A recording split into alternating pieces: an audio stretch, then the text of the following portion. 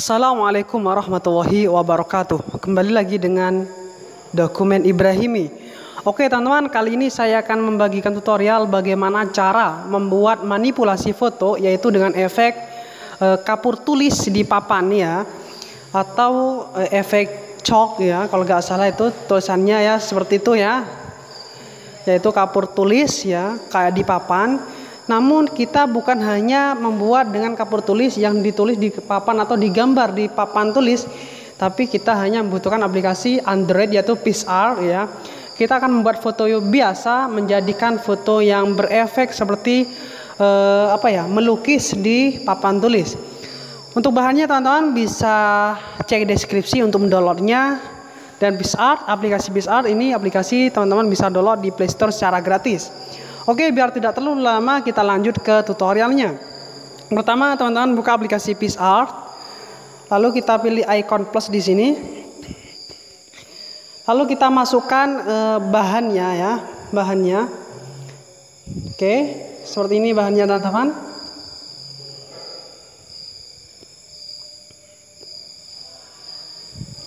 Oke. Seperti ini bahannya. Oke. Di sini adalah foto daripada papan tulis. Kita akan masukkan fotonya ya. Fotonya kita masukkan, caranya kita tambahkan. Kita tambahkan, kita masukkan e, foto yang ingin teman-teman kehendaki.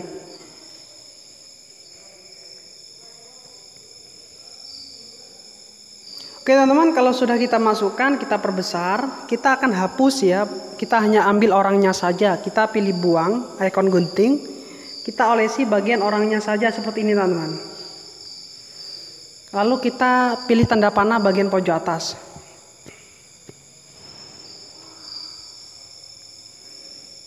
Oke.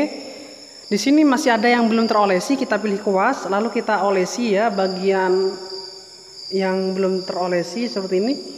Ini adalah bagian yang ingin kita pertahankan. Oke.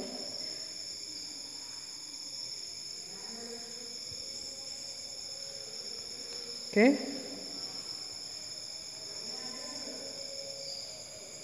Oke teman-teman, kalau sudah teman-teman bisa langsung simpan ya. Oke ini sudah terpotong, kita akan hanya ambil setengah badan saja teman-teman. Oke mungkin seperti ini. Kita akan pilih efek. Kita pilih efek artistik, kita pilih neon, kita cari neon.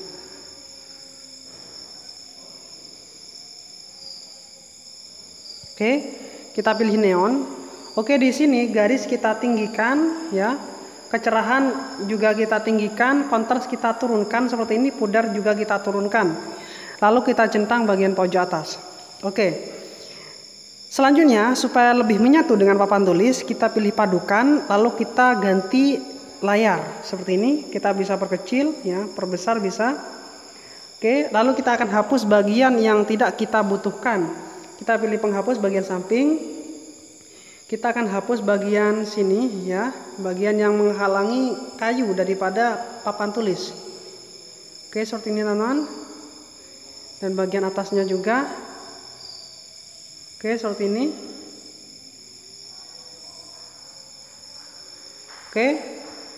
Teman-teman kalau sudah teman-teman bisa langsung centang bagian pojok atas. Dan teman-teman juga bisa menambahkan teks di sampingnya kita pilih icon centang bagian pojok atas. Teman-teman bisa menambahkan teks di sampingnya. Kalau sudah teman-teman pilih uh, icon panah bagian pojok atas. Kita lewati saja. Lalu kita simpan. Oke maka fotonya tersimpan di galeri. Itulah teman-teman bagaimana cara membuat uh, manipulasi foto dengan efek uh, gambar di papan tulis menggunakan aplikasi PixArt Android Mungkin itu semoga bermanfaat. Assalamualaikum warahmatullahi wabarakatuh.